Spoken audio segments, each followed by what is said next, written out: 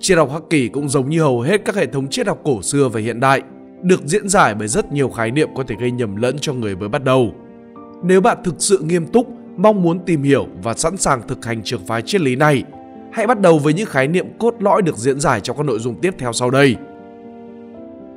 Nhìn chung, chủ nghĩa khắc kỷ được khai sinh về sứ mệnh chui rèn bản lĩnh và tinh thần của con người trước những áp lực và khổ đau ở trong cuộc sống. Theo nhận định của những triết gia khắc kỷ, mỗi hành động xảy ra trong đời luôn luôn có những thước đo cụ thể để thấu hiểu những lý do, động lực đã thúc đẩy các hành động đó diễn ra. Chúng tự chung lại và định hình dưới một cụm từ, phẩm hạnh. Tuy nhiên, phẩm hạnh này là một khái niệm cần rất nhiều suy xét và chiêm nghiệm. Theo bài viết Why are there the four candidate virtues in Stoicism bởi người viết Bringing them the play tại website Medium, phẩm hạnh là thứ tốt đẹp duy nhất và nó được cấu thành từ bốn thước đo đặc biệt. Nắm vững kiến thức về bốn thước đo này chính là cách mà bạn bước những bước đi đầu tiên để bắt đầu với con đường thực hành phong cách sống khắc kỷ. Vậy bốn thước đo đó là gì? Hãy cùng tìm hiểu qua nội dung được biên dịch và hiệu chỉnh từ đội ngũ Spider Room ngay sau đây.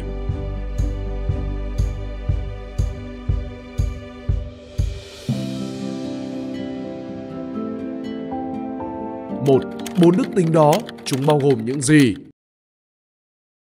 Chủ nghĩa khắc kỷ nổi tiếng với quan điểm cho rằng phẩm hạnh là điều tốt đẹp duy nhất.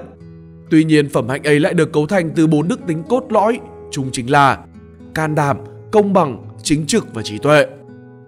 Quan điểm này được ghi nhận rõ ràng trong giới học thuật và là nền tảng cho nhiều tác phẩm hướng dẫn thực hành lối sống khắc kỷ. Trên thực tế, một người thực hành triết học khắc kỷ cần những điều như sau. Đầu tiên, can đảm bảo vệ những gì họ trân trọng. Thứ hai, công bằng với mọi người. Thứ ba, chính trực trong việc theo đuổi đam mê. Thứ tư, khôn ngoan trong mọi lựa chọn và quan điểm về tạo hóa. Tất cả bốn đức tính vừa được nhắc đến đều hướng tới mục tiêu cao nhất là rèn luyện bản thân trở thành người có lối sống khắc kỷ. Tuy nhiên những điều này là không đủ bởi thực tế vẫn còn rất nhiều khó khăn cho những ai muốn thực hành chủ nghĩa khắc kỷ.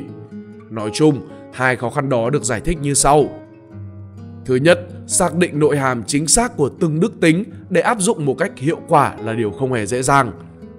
Nguyên do là bởi nhiều văn hóa khắc kỷ cổ đại đã thất lạc, dẫn đến việc con người hiện đại ngày nay thiếu đi tài liệu tham khảo quan trọng về chủ đề này. Trong nhiều trường hợp, chúng ta chỉ có vỏn vẹn những mô tả ngắn gọn về các dạng thức khác nhau của bốn đức tính can đảm, công bằng, chính trực và trí tuệ. Thứ hai, hãy đặt ra câu hỏi tại sao chủ nghĩa khắc kỷ nói chung và các triết gia khắc kỷ nói riêng lại chỉ đề cao bốn đức tính này. Phẩm hạnh được xem là giá trị duy nhất mà những triết gia khắc kỷ coi trọng vô điều kiện. Bốn đức tính tạo nên phẩm hạnh này được cho là bao hàm mọi thứ có thể xảy ra trong cuộc sống của chúng ta. Vậy bốn đức tính can đảm, công bằng, chính trực và trí tuệ có thể giúp một người sẵn sàng ứng phó với mọi tình huống có thể xảy ra trong cuộc đời họ như thế nào? Câu trả lời nằm ở nhận thức của con người về những gì nằm trong tầm kiểm soát và nằm ngoài tầm kiểm soát của chính chúng ta. Con người chúng ta đều giống nhau, đều có khả năng suy nghĩ, lựa chọn, nói năng, hành động. Tuy nhiên, chúng ta không thể kiểm soát được người khác nghĩ gì, nói gì, hành động và lựa chọn ra sao. Do đó, không ai, kể cả những người may mắn hay là quyền lực nhất, có thể có một cuộc sống hoàn toàn êm đềm, không bao giờ gặp bất lợi hay là thách thức nào trong cuộc sống hay là không bao giờ gặp khó khăn trong việc né tránh điều gì đó. Nói cách khác, cuộc sống luôn ẩn chứa rất nhiều điều nằm ngoài tầm kiểm soát của chúng ta. Người xưa gọi đó là fortuna, vận mệnh. Biến cố trong cuộc sống là điều không thể tránh khỏi. Hai thái cực của biến cố chính là nghịch cảnh và thuận cảnh. Đây cũng là nền tảng cho hai đức tính can đảm và công bằng nhận dịp tái bản sách suy tưởng, một trong ba cuốn sách nổi tiếng nhất của chủ nghĩa khắc kỷ. Thêm vào đó, kỷ niệm tủ sách khắc kỷ của Spyro đã bán được lên đến hơn 20.000 quyền. Nếu các bạn mua sách suy tưởng từ hôm nay, các bạn sẽ được tặng một bộ bookmark khắc kỷ độc quyền và một sổ tay khắc kỷ đến từ nhà nhện. Hãy chốt đơn ngay hôm nay để nhận được những phần quà độc quyền từ Spyro các bạn nhé. Áp dụng thực hành bốn đức tính trong đời sống. Can đảm, đức tính cho nghịch cảnh. Can đảm hay chính xác hơn là kiên cường giúp con người vượt qua nghịch cảnh khi không đạt được điều mà mình mong muốn, khi không thể tránh khỏi những điều mà mình không thích hoặc là không muốn đối mặt. Khi mọi việc suôn sẻ, họ có thể cảm thấy hài lòng, nhưng khi mọi chuyện không còn thuận lợi, giống như là hạt giống gieo trên đất sỏi căn, họ sẽ dễ dàng khuất phục hoặc bỏ cuộc. Nếu thiếu can đảm, một người sẽ không thể bảo vệ bản thân hoặc những gì mà họ trân trọng.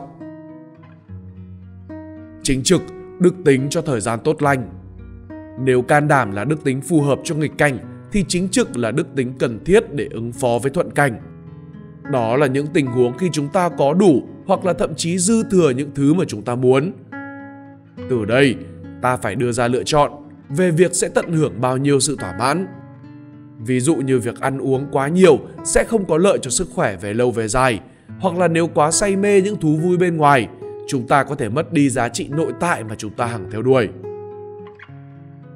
Công bằng, đức tính xã hội Vào thời phục hưng, nhà thơ nhà triết học theo trường phái khắc kỷ Petrarch đã viết một cuốn sách dài về cách khắc phục cả nghịch cảnh lẫn thuật cảnh.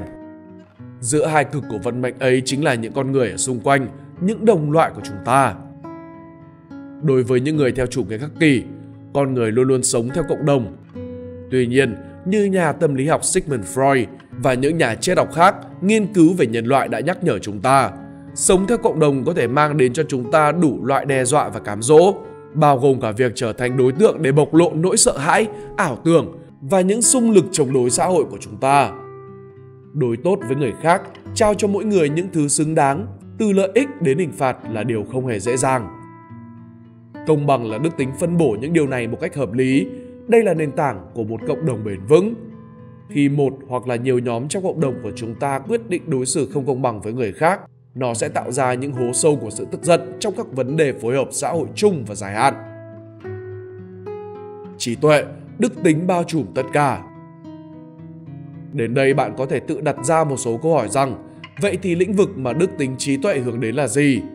Nếu nghịch cảnh được can đảm che chở, thuận cảnh do chính trực bảo đảm và những điều khác do công bằng lo liệu, dường như chẳng có lạ gì phải không? Câu trả lời cho những thắc mắc này sẽ là trí tuệ bao trùm tất cả mọi ngóc ngách của cuộc sống. Những gì thuộc về đức tính can đảm nếu không được hướng dẫn và được nhận định khôn ngoan thì đó không phải là can đảm mà có thể biến thành một sự ngu ngốc.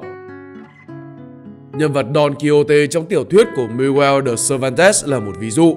Ông chiến đấu với cối xe gió và tưởng tượng mình là một hiệp sĩ vĩ đại chiến đấu với quái vật. Nỗ lực của Don Quixote xứng đáng được ghi nhận, nhưng chúng ta phải công nhận một sự thật rằng ông ấy không khôn ngoan trong việc này. Những gì được coi là chính trực cũng sẽ không thực sự chính trực nếu nó không được định hướng bởi những lựa chọn khôn ngoan về những vấn đề như là thức ăn, đồ uống, tình dục, của cải, an ninh và mọi thứ khác. Cuối cùng, những gì trông giống như là công bằng sẽ không phải là công bằng nếu một người có cái nhìn sai lệch về người khác. Đức tính công bằng có một mặt của đức tính chính trực, liên quan đến việc không đòi hỏi nhiều hơn những gì mà chúng ta cần. Nó cũng là một mặt của đức tính can đảm, liên quan đến khía cạnh trừng phạt. Đó là khi người khác hoặc chính chúng ta đã vi phạm những quy ước được đặt ra từ trước. Tất cả chúng ta đều có thể thực hành khắc kỷ, Đối với những triết gia khắc kỷ, tất cả mọi người đều có một phẩm giá nội tại, khả năng lý trí và khả năng nuôi dưỡng các đức tính. Bất kỳ hình thức phân biệt đối xử nào dựa trên bất kỳ đặc điểm nào khác mà chúng ta có như là màu tóc, màu mắt, sở thích, giai cấp xã hội, dân tộc, tôn giáo, quốc gia đều thể hiện sự thiếu khôn ngoan. Tất nhiên, không phải tất cả mọi người, nhất là ở mức độ từng cá nhân cụ thể, có thể đều đạt được cùng một mức độ phẩm hạnh giống nhau nhưng điều này không có nghĩa là tất cả chúng ta đều không có khả năng và chính những khả năng này là nền tảng cho những đòi hỏi về phẩm giá.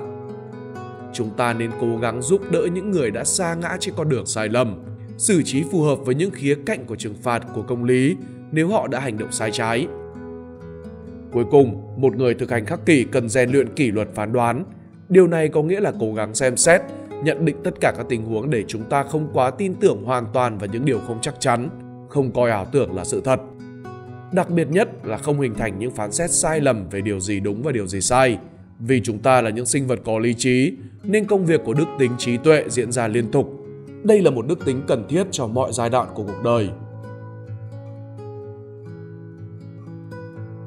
Đó là những nội dung được biên dịch và hiệu chỉnh từ đội ngũ Spider Room về những khái niệm cốt lõi nhất của chủ nghĩa khắc kỳ nhằm áp dụng vào đời sống hiện đại ngày nay.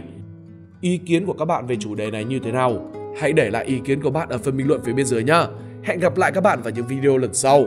Đây là Spider Room, còn mình là Pink Dot. See ya!